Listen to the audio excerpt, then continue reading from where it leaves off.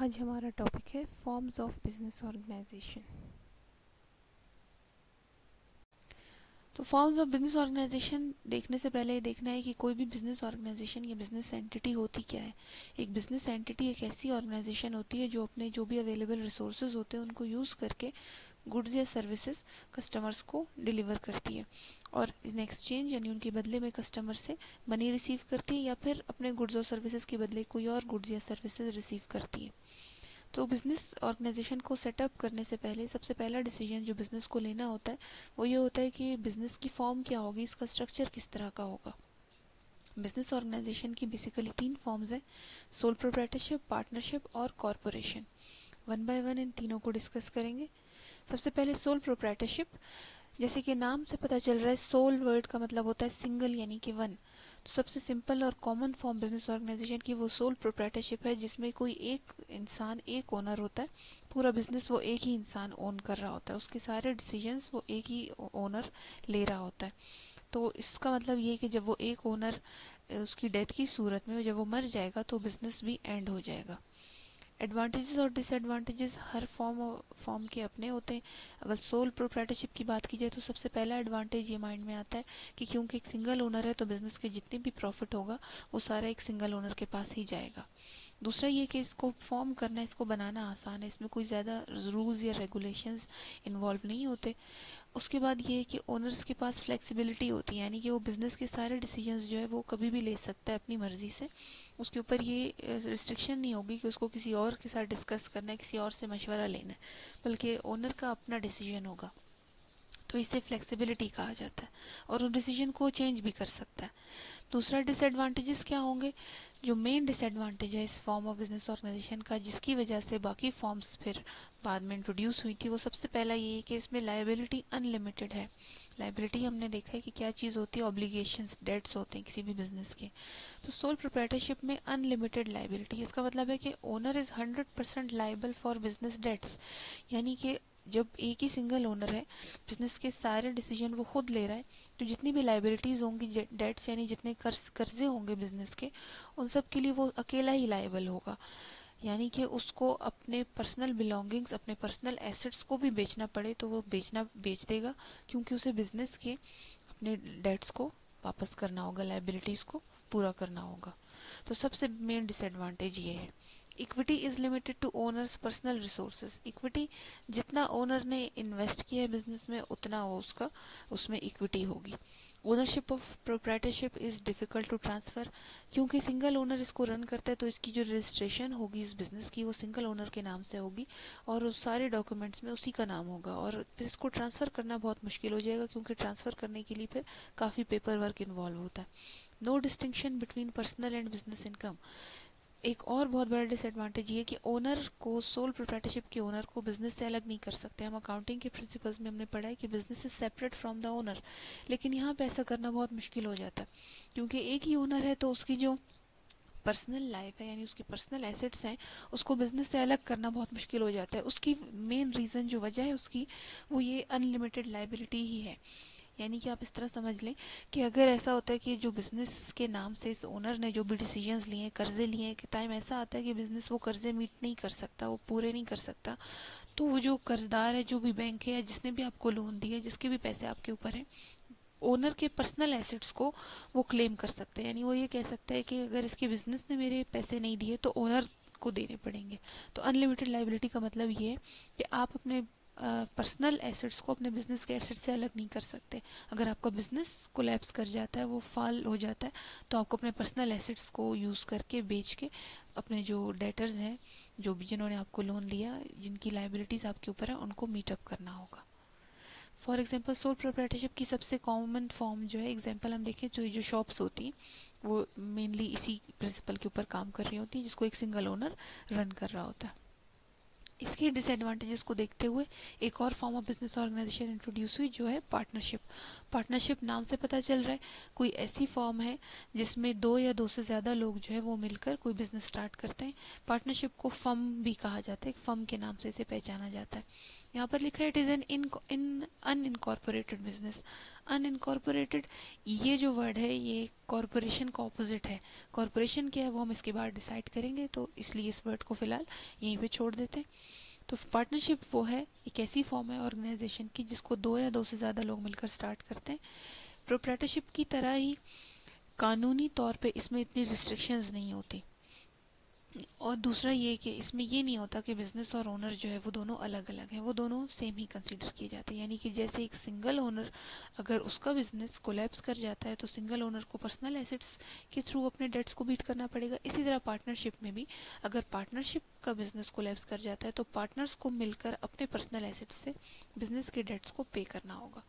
Partners should have a legal agreement that establishes how decisions will be made partners को business partnership business start करने से पहले एक agreement करना बहुत ज़रूरी होता है, जिसमें लिखा होता है कि सारी इंपॉर्टेंट बातें लिखी होती हैं कि बिज़नेस के प्रॉफिट्स जो है वो किस तरह शेयर होंगे, कितने पार्टनर्स हैं, किस किस को प्रॉफिट में कितना परसेंटेज मिलेगा, क्या इक्वल मिलेगा सबको, किसी को ज़्यादा, किसी को कम डिपेंड करता है किस चीज़ों के ऊपर, उनकी जितना हिस्सा, जितना भी इक्विटी वो लेकर आए बिज़नेस में।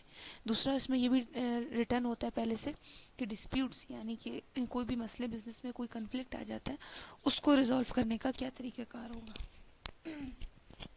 उसके अलावा फ्यूचर पार्टनर्स अगर आप अभी स्टार्ट में आपने दो लोगों ने बिज़नेस स्टार्ट किया, लेकिन फ्यूचर में आप चाहते हो कि इस बिज़नेस को बढ़ा के चार, पाँच या छः पार्टनर्स कर लिए जाएँ तो उसका क्या तरीका क्या कार होगा? वो भी मेंशन होता है एग्रीमेंट में।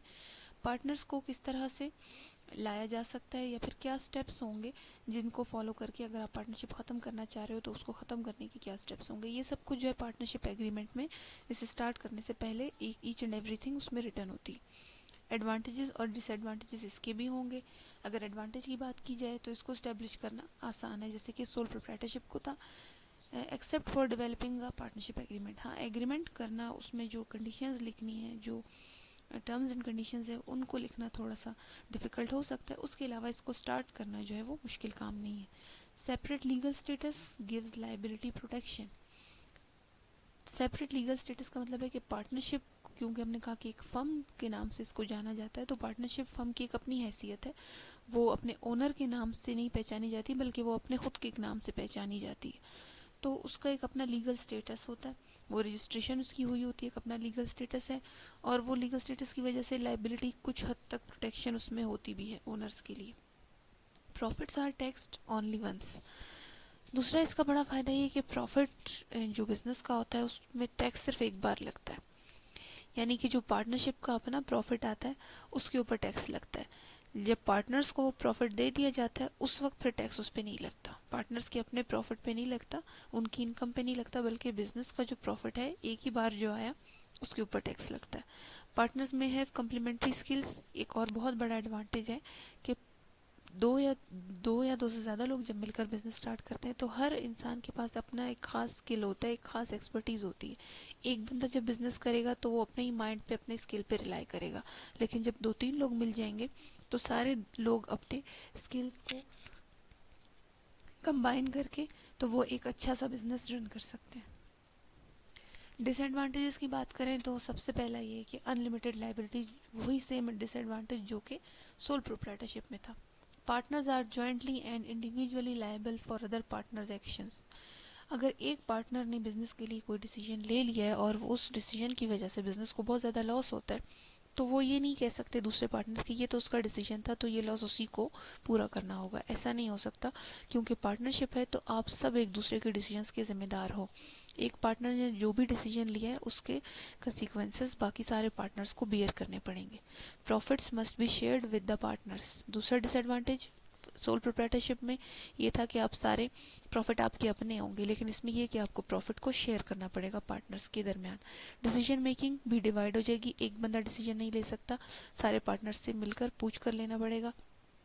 Business can suffer if the detailed partnership agreement is not in place अगर आपके पार्टनरशिप एग्रीमेंट में ये सारी चीज़ें नहीं लिखी कि डिसीज़न कौन लेगा प्रॉफिट शेयर करने की क्या परसेंटेज होगी तो इस सूरत में पार्टनरशिप में जो है बहुत ज़्यादा कन्फ्लिक्ट्स अराइज हो सकते हैं।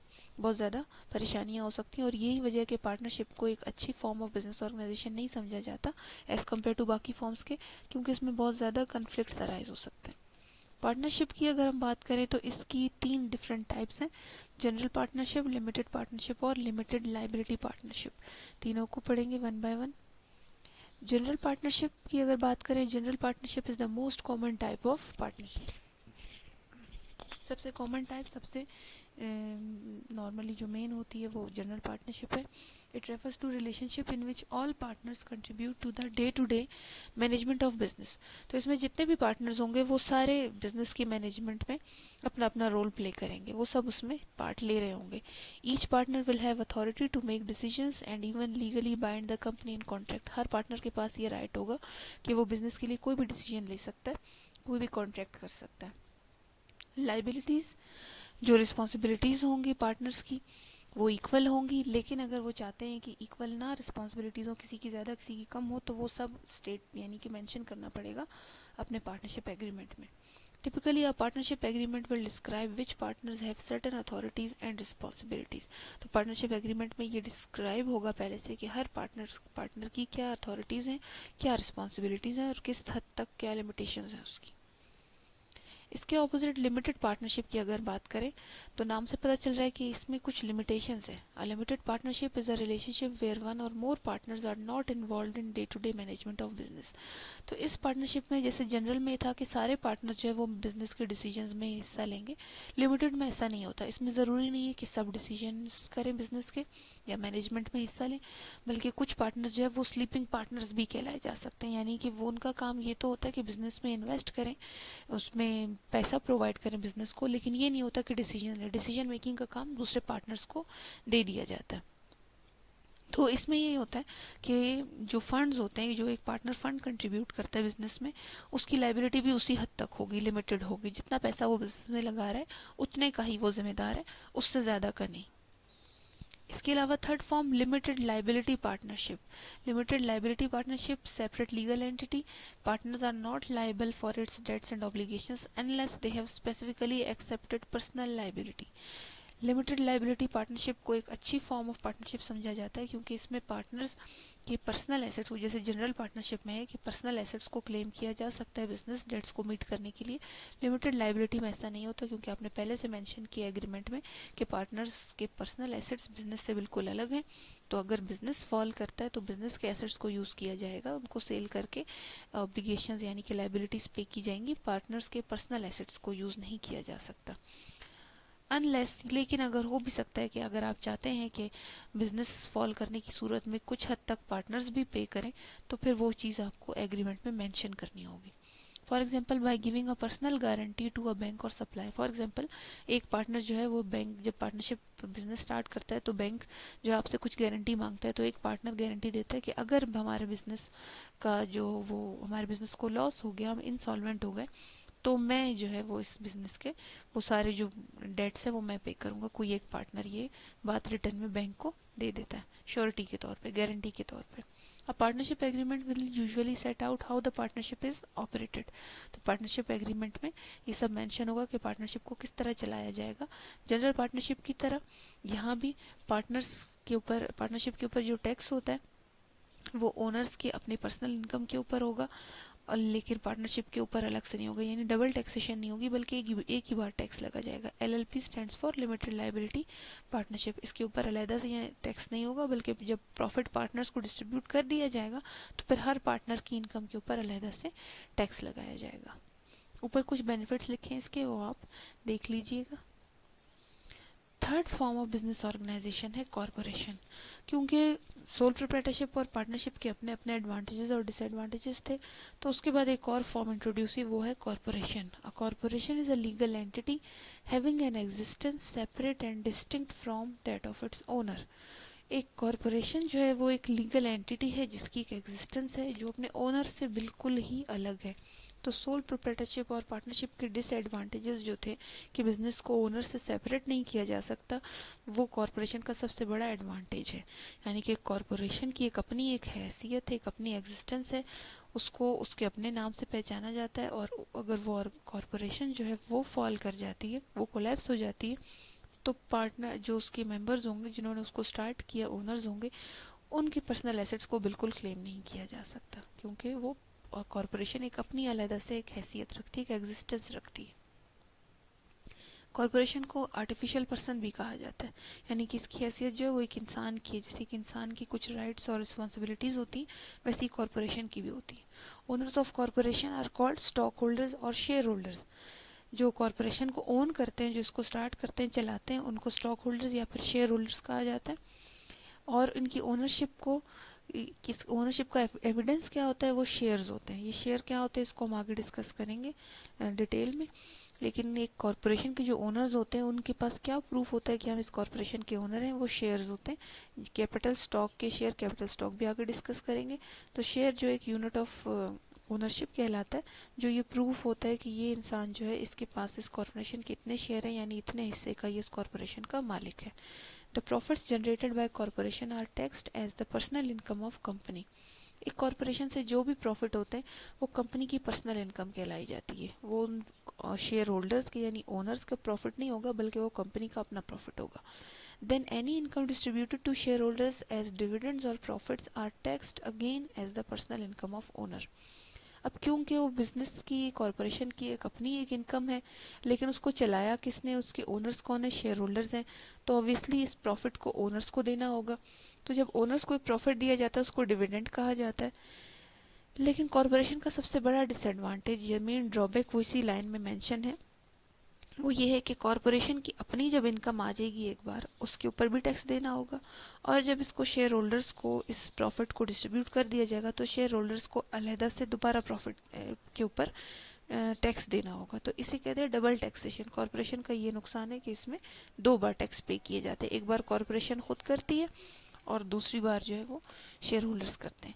एडवांटेजेस कॉरपोरेशन के limits liability of owner to debts और लॉसेस जो पार्टनरशिप और सोल प्रोप्राइटरशिप का सबसे बड़ा डिसएडवांटेज था कि उसमें लाइबिलिटी अनलिमिटेड है। यहाँ पे वो एडवांटेज है क्योंकि लाइबिलिटी यहाँ पे लिमिटेड है। इसका मतलब ये है कि जितने के आपने शेयर्स खरीदे बिज़नेस में, जितने हिस्से के आप उसमें ओनर हैं बिज़नेस में, आप सिर्फ़ उतने ही हिस्से के जिम्मेदार हैं, उससे ज़्यादा की नहीं। तो जब अगर बिज़नेस लॉस कर जाता है तो बिज़नेस के कर्जों को अदा करने के लिए आपने जितने पैसे लगाए थे, आप उतने से ही अदा करोगे, उससे ज़्यादा के आप जिम्मेदार नहीं हो। Profits and losses belong to corporation सारे फ़ायदे नुकसान कॉरपोरेशन के होंगे ओनर्स के नहीं होंगे. Can be transfer to new owners easily बहुत आसानी से आप अपने शेयर्स अगर आप चाहते हो कि मैं शेयर बेच दूँ, इस कॉरपोरेशन को छोड़ दूँ, आप किसी और को बेच के उसको ओनर बना सकते हैं. जबकि सोल प्रोप्राइटरशिप और पार्टनरशिप में इस तरह नहीं हो सकता. उसमें अगर आप चाहते हो कि मैं चला जाऊँ और मेरी जगह कोई और आ जाए तो उसमें पूरा एग्रीमेंट चेंज करना पड़ता है. Personal assets can not be seize to pay for business debts again वही लिमिटेड लाइबिलिटी वाली बात कि आपके पर्सनल एसेट्स को बिज़नेस के कर्जों को अदा करने के लिए कोई भी उसको क्लेम नहीं कर सकता।